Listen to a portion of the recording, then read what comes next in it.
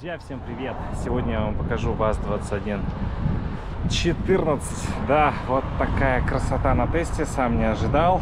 2013 года выпуска автомобиль, 297 тысяч рублей стоимость, двигатель 1.6 на механике, 81 лошадиная сила, комплектация. В данном случае люкс, э, сигнализация с автозапуском, дорогая музыка, есть подиумы, сабвуфер. В головном освещении стоят LED-лампочки. Ну и по кузову нареканий нет и по ходовке тоже. Все-таки учитывайте автомобиль 2013 года выпуска. Обыкновенная рабочая лошадка, э, ничем не примечательная, абсолютно такая сигналка, автозапуск. Вот видите, в чехле тоже, все аккуратно. Действительно довольно ухоженный автомобиль. Такой авто вы сможете приобрести в автосалоне Sprint. Выражаю благодарность автосалону Sprint за предоставление данного автомобиля на тест-драйв. Стекла я сейчас уже опустил. Как видите, ухоженный салон. Здесь подиумы, аватар. Классно все звучит. Так. Запускаем силовой агрегат. 104 616 километров на одометре. Натикало. Вот такой хороший простой запуск. Вот так, на свадьбу поехали. Так, рулевая колонка по высоте регулируется, механические регулировки по аудиосистеме. Здесь у нас сейчас головное устройство покажу. Это Пионер, USB AUX, то есть определенный человек был меломан. Слушал качественную, хорошую музыку. Здесь борт-компьютер, видите, управление светом, туманки, задний обогрев стекла. Здесь у нас такие дефлекторы, вот тонюсенькие совсем. Регулировка для потока воздуха, печка хорошая. Зимой тепло, различные зоны. Ну, такое все, знаете, старомодное. Здесь пепельница, батарейки, лампочки, 5 рублей. Э, различного рода предохранители, розетка, прикуриватель. Пятиступенчатая механика. Задняя передача, первая, вторая, третья, четвертая, пятая. Ручник. Здесь есть даже в некоторых комплектациях подогрев сиденья. Вот такой подлокотник, свой родной. Видите, антенна мультимедийной системы вот здесь. Ну, в принципе, в принципе, все. Тесновато, конечно, при моем росте в 188 сантиметров. Но можно как-то под себя все подстроить и уже сжиться с этим автомобилем. Регулирование угла наклона фар, регулирование яркости подсветки приборов, механические регулировки для зеркал. И вот здесь электростеклоподъемники передние со стороны водителя и со стороны пассажира. Вот такие дела. Здесь у нас э, лампочка такая маленькая для сигнализации. Давайте откроем капот, я вам все покажу. Те места обычно слабые в этом автомобиле по кузову вроде бы все хорошо. Я бы не сказал, что как-то все гниет ужасно. Все окей. Оно, конечно, начнет рано или поздно. Жучки, вот вся эта ржавчина, она появится. Здесь весла, механические регулировки. Но пока еще все окей. Складывается сплошняком спинка. Сиденья в меру мягкие, в меру жесткие. Свежевыкрашенные Виатти стоят. 14 175 на 65 профиле. Ну, прям здесь все шикарно.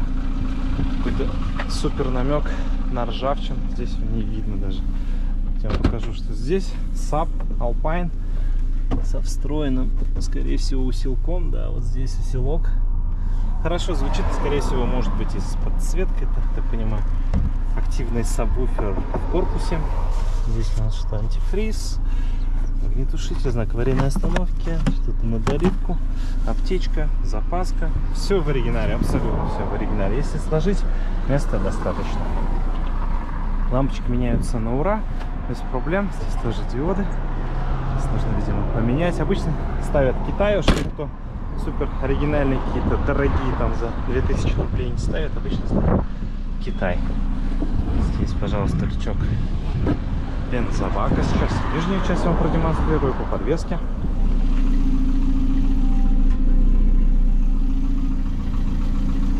Несмотря на то, что по сути все хают и ругают этот автомобиль от малого до велика, они покупают и катают нем. Здесь еще вещевой бокс небольшой выкроили. Несмотря на это, покупают, катают, но ругают. Странно. Парадокс. Парадокс. Здесь у нас указательный для поворота передних крыльев, лобовое без сколов, без трещин. Ну, немножко от камушков здесь есть.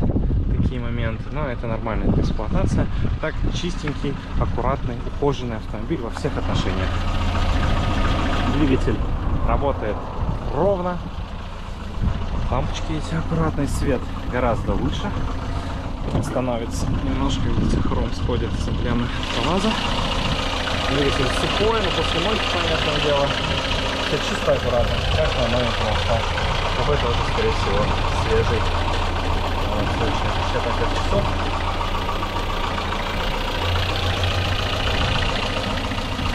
Все ремонтопригодно, доступно, без проблем чинится, если есть необходимость.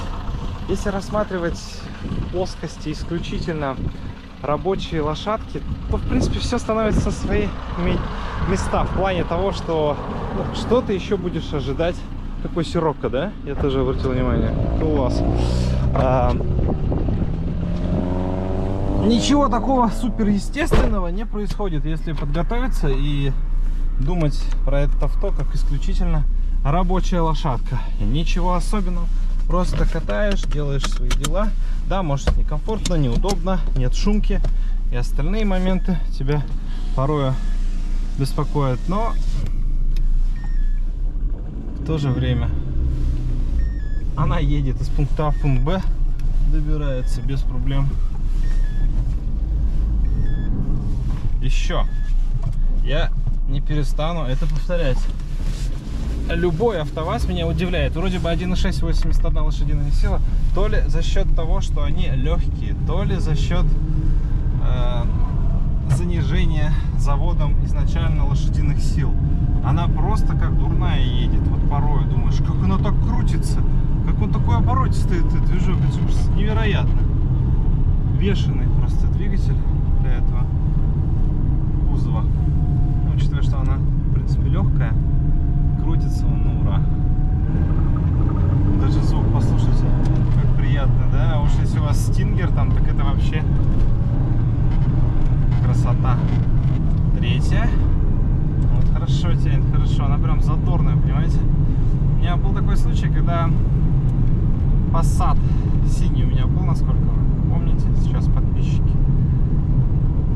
Вспомните этот Passat V5 Plus или 5,5, как еще называют. Американец 1.8 турбо 170 был. Мы как-то поехали к другу в Казань на двух машинах.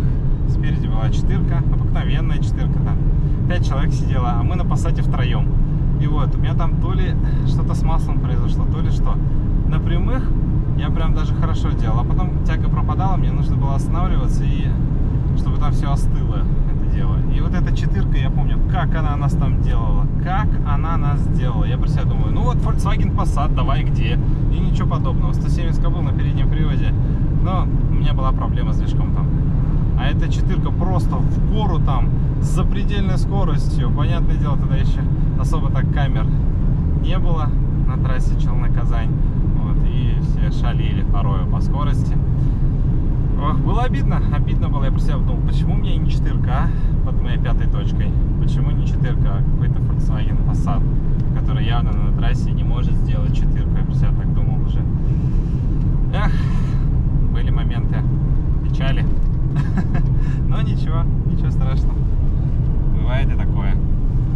Я хочу сказать, что она в нужный момент пацанов не подводила, можно так это описать двумя словами. В нужный момент не подводит. Ну и то, что шустрая, конечно, шустрая, это факт. Она словно знает, когда подводить нельзя и не подводит. А когда можно где-то там облажаться, она, наверное, это сделает. Периодически такое с этим авто происходит. И это нормально, это абсолютно нормально. Здесь страшного ничего нет. Удобно и круто, что ты чинишь эту тачку на коленке. Вот. Буквально там в пятерочку заехать и все оп будет. Без вопросов. Поедешь дальше. Карабас, кстати, четкий еще, не замученный, определенные кулисы и все. Сцепление, тормоза адекватно работают. Главный тормозной цилиндр, наверное, все ок. повороты, конечно, входят прям не особо с держаком таким прекрасным, но как бы ты едешь и понимаешь, что, ну, что ты ожидаешь. Это же не какая-то супер спортивная версия. Можно поменять подвеску, можно что-то еще сделать. Как-то дико затюнинговать, как в свое время, допустим, дорабатывали девятки. Здесь навряд ли получится, потому что уже и эпоха не та, и компонентов нет, чтобы затюнить под полный такой комплект супер крутой тачки. Но тем не менее, опа, третья пошла, хорошо. Вы знаете, какой момент? Иногда неподготовленные люди, которые это авто, а водитель явно драйвовый, любит такую быструю езду, порой думаешь, вот возникнут моменты, когда тепленькая пошла в салоне. Потом чистить салон как-то неприятно. Ну, есть ребята, которые прям все соки из нее выжимают, и она прям едет. Слушайте, они в отсечку крутят салоне гул, дребезжание, все орет, кричит, ревет, и она еще едет, и все таки о, что это такое, это что за апокалипсис, что за конец света происходит, и все, понимаете, обзорность хорошая, ну, низкая посадка уж есть такое, клиренса более чем достаточно. Зато все родное, каждый звук, вой коробки, вой чего-то еще, вой на перегазовке, да, вот такие моменты, все родное, погнали. И не дается. Смотрите, двускатные какие колеса на газели, без брызговиков, камушки летят же, нельзя так, нельзя кататься. Рулежка уж, понятное дело, но смотрите, вообще абсолютно неадекватная на этом автомобиле. Вот как ни крути, я вообще не понимаю связь руля э, с колесами. В ней непонятно никак. Вот, как я не пытался понять ее, как я не пытался в этой сложной теме разобраться, для меня ничего не понятно. О, о, да она бешеная. Какая какофония звуков, а? Вы понимаете? Насколько она в себя влюбляет со временем. Ты такой, каждый вот этот звук ты прям наизусть знаешь, как то самое стихотворение, которое тебя заставили учить от корки до корки. Ты его прям просто ночью тебя разбудили, и ты сразу этот стих выдаешь. Вот то же самое с этим автомобилем. Роднее вообще ничего нет и не будет, наверное. Магнитный держатель для телефона. Здесь радар, наверное, либо на регистратор вывели оттуда из панельки, так обычно делают. Сидушки в хорошем состоянии, не потертые, не замятые, не сосаленные, там чистить не надо, все ок. О, во, поняли, да? А, заднюю включил. Чуть назад не поехал, но зато все такое родное. Так это же бывает. Там, наверное, на Тукеле удивились, он назад сдает. Зато весело, весело, весело. Эх. Если бы сейчас четырку выпускали, не знаю по стоимости, сколько бы она сейчас была, наверное, 1450-500, да, вместо гранта, или еще ниже гранта была бы. Ну, конечно, находились бы э, покупатели на этот автомобиль, это безусловно, безусловно. Но она уже на тот момент, на момент, когда ее прекратили выпускать, сильно устарела, сильно устарела, и там уже ничего не поделаешь, кроме как снятия с производства. Понимаете, она уже все, она себя изжила, пережила, и вот что хочешь, как хочешь, говори, она все уже, она, она устала, она просто устала во всех отношениях. Ей уже жизнь не мила была, поэтому ее отправили спокойно, тихо, на покой. Вот, на этом, надеюсь, вам понравилось. На этом я завершаю. Всем удачи, берегите себя. Подписывайтесь на канал. Огромного вам везения. Пока, друзья.